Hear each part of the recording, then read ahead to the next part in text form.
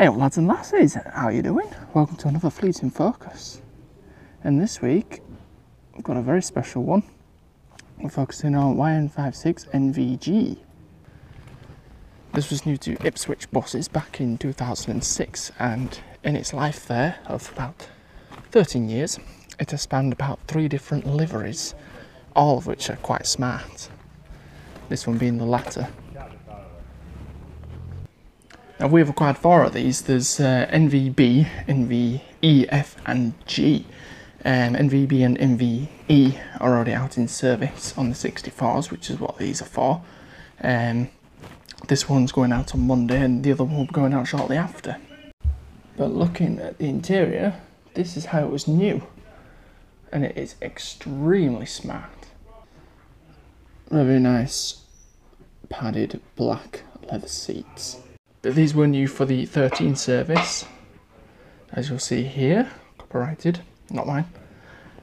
And it's very smart livery, and that's kind of metallic colours, but in this spec, so obviously quite a um, sort of like a frontline first class sort of service if they're having a spec like this.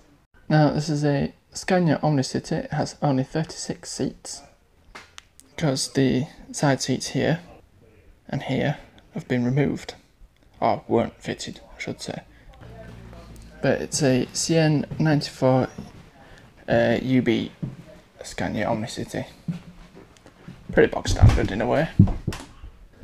But the nice thing about these ones is they don't rattle.